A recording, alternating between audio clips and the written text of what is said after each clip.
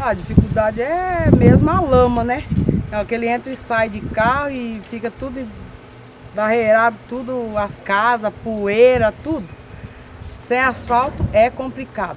Uhum. É difícil os moradores que moram na parte de lá também, que é complicado para eles, que tem gente que acho que teve até que trocar o piso da casa. Porque encarde tudo na época da seca.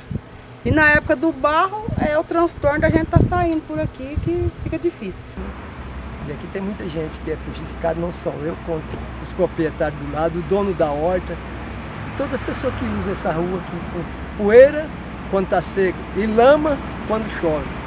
Então, e a turma acaba descartando lixo aqui, cachorro morto. Seria muito bom que a prefeitura providenciasse, né? pelo menos é, limpar esses lixos daqui.